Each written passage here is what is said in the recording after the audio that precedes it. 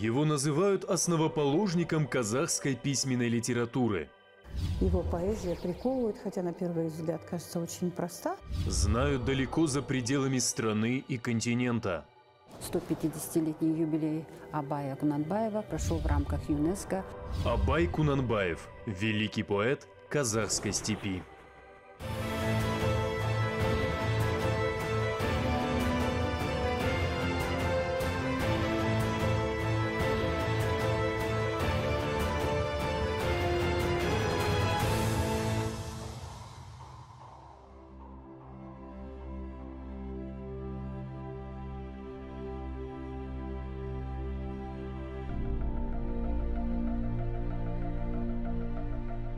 Поэзия – властитель языка.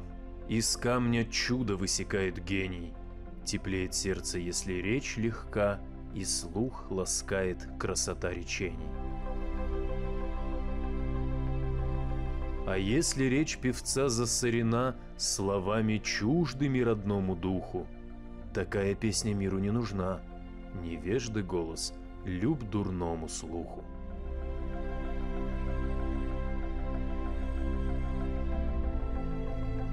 Абай Кунанбаев – главный классик казахской литературы. Его именем названы районы, около десятка сел, проспекты чуть ли не половины городов Казахстана. А еще улицы в Дели, Каире, Берлине, Ташкенте, Киеве, многих других столицах мира. Чем известен и почему так почитаем казахский философ и поэт – Абай – великий казахский поэт-просветитель, основоположник казахской новой письменной литературы и казахского литературного языка, философ, переводчик, композитор. Это очень известная личность. Абай поднял казахскую литературу до высот подлинного искусства, расширил тематику, обогатил образную систему, ввел новые жанры. Однажды зимой к Абаю пришел бедняк Дармикбай – по всей степи лед сковал землю. Животные погибают, и всем нам грозит голод, сказал он.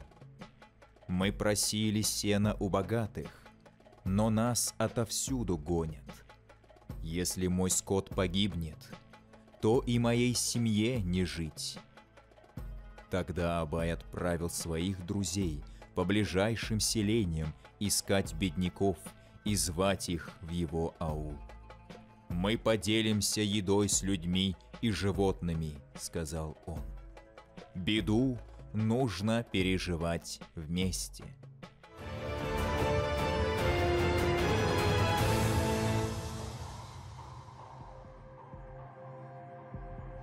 Абаем создано около 170 стихотворений и 56 переводов, написаны поэмы – он автор многочисленных притч и афоризмов. До Абая было очень богатое казахское народное творчество. Но именно Абай вел такие мотивы, социально значимые. Именно первый он воспел труд в своих произведениях. Если слишком сыт, труд тобой забыт. Развращен такой человек. Значительная часть трудов Абая связана с переводом русских классиков. Именно благодаря ему в конце XIX века в степи знали и Моську Крылова, и Руслана и Людмилу Пушкина. Это рукопись Абая, написанная на арабском языке. Все мы знаем, что Абай занимался переводами работ русских писателей и поэтов. Здесь представлены отрезки его переводов Пушкина, Лермонтова, Крылова. Когда Абай перевел несколько фрагментов Евгения Онегина, они тут же стали разучиваться в казахских аулах.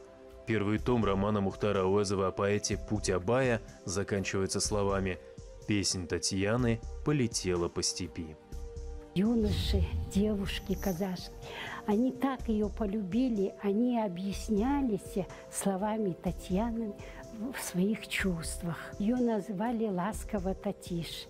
И все девушки, вот до того она была близка им. Аба известен как автор слов назидания, по-казахски «Карасуздер». Это сборник из 45 кратких притч или философских трактатов. Интересно, что буквально название сборника переводится как «черные» или «простые слова». Абай пытался сделать литературу, а вместе с ней и образование вообще доступными для любого жителя степи. Простые истины простыми словами. В степных школах медресе Муле часто давали слова назидания Абая, и он рассказывал их детям, то есть их использовали как учебные пособия. В 38-м слове Абай говорил «Между богатством, накопленным для того, чтобы возвыситься, и богатством, которое копят для того, чтобы иметь возможность помочь страждущим, есть большая разница. Искусство – вот подлинное, неиссякаемое богатство. Учиться ему – самое благородное дело.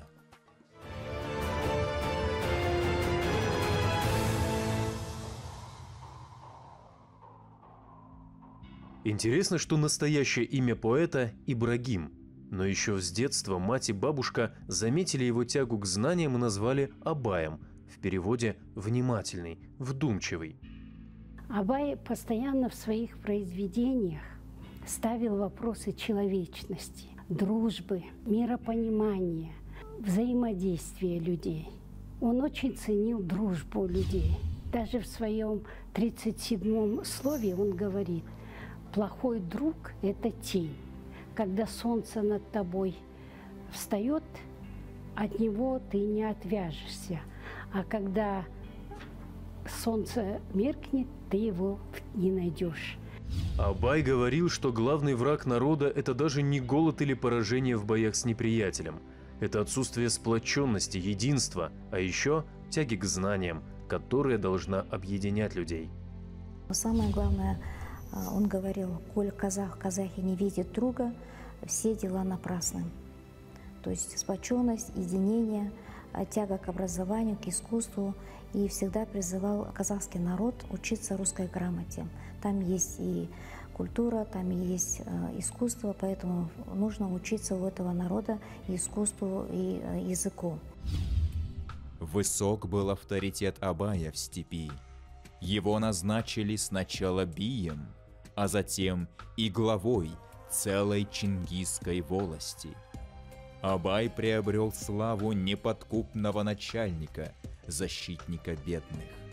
Он жестоко наказывал воров и отказывался защищать богатых и сильных родственников. Нравилось это далеко не всем. Местная знать, которая привыкла, что в степи властвует право сильного – начала строить козни против Абая. Посыпались донесения, судебные тяжбы. Это мешало главному занятию поэта – творчеству. И он оставил должность волосного управителя. Сегодня в урочище Жидибай, где Абай провел последние годы своей жизни – в его доме создан музей-заповедник. Рабочий стол, письменные принадлежности, любимые книги в том самом виде, в каком они были в начале 20-го столетия, когда поэт ушел из жизни.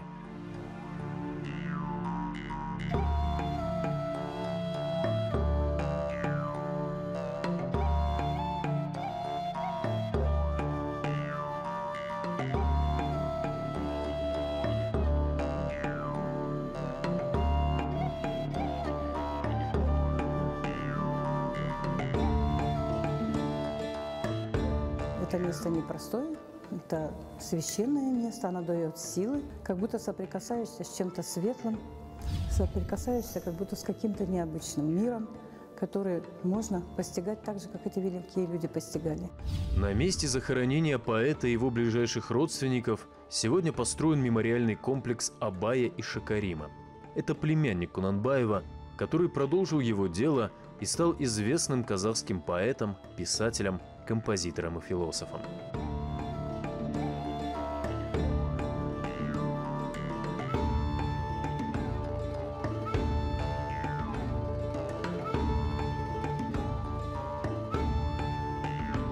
Мавзолей двух столпов казахской литературы сегодня одно из самых посещаемых туристами мест Восточного Казахстана.